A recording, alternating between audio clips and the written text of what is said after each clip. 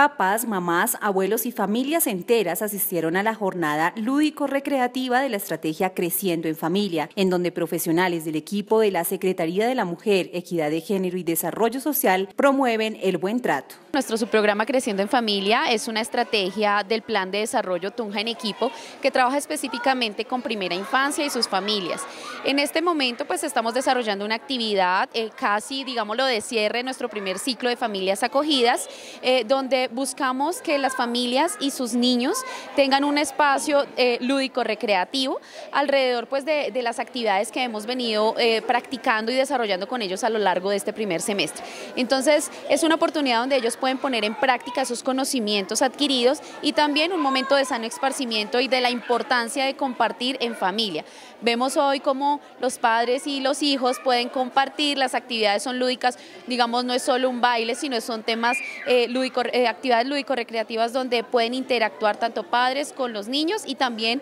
eh, pues entre los diferentes grupos que hacen parte de nuestra población de Tunja en equipo. En desarrollo de la estrategia, enseñar a jugar es fundamental para ser niños y niñas felices.